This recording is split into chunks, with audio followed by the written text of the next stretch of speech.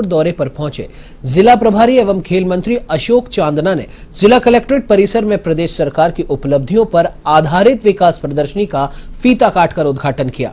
प्रभारी मंत्री ने जिला दर्शन पुस्तक का भी विमोचन किया। तो वहीं इसके बाद मंत्री अशोक चांदना ने एक प्रेस वार्ता कर बेरोजगारी के लिए केंद्र सरकार को दोषी ठहराया। प्रेस वार्ता में उन्होंने कहा कि आठ वर्ष पूर्व देश के हालात बहुत अच्छे थे।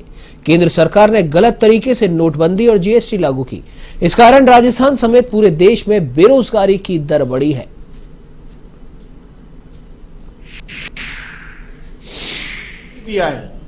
उनकी रिपोर्ट दर्ज करनी ज़रूरी है। और आपने शायद एक रिपोर्ट नहीं पढ़ी कि 48 प्रतिशत टोटल मुकदमे फेक मुकदमे होते हैं 48 परसेंट से ऊपर।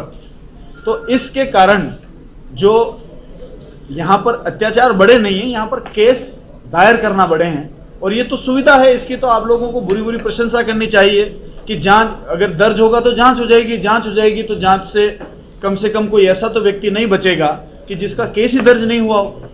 जाँच के तो एक विषय है जाँच एक बार हो सकती है कोई संतुष्ट नहीं हो दो बार हो सकती है कोई संतुष्ट नहीं हो तीन बार जाँच हो सकती है और जाँच बंद होने के बाद फिर जाँच खुल सकती है। लेकिन दर्ज तो हो प्रदेश पहला राजस्थान हमारा बना है मुझे लगता है कि इसमें कोई आ, ये केवल आंकड़े बढ़ जाना ही क्राइम बढ़ने का आधार नहीं है लेकिन हमारे यहाँ पर क्योंकि केस दर्ज हो रहे हैं और हम उनको कर रहे हैं we are facing what is there उस वजह से ये आंकड़ा ज़रूर बढ़ गया है मुझे लगता नहीं है कि क्राइम की दर उतनी बढ़ी।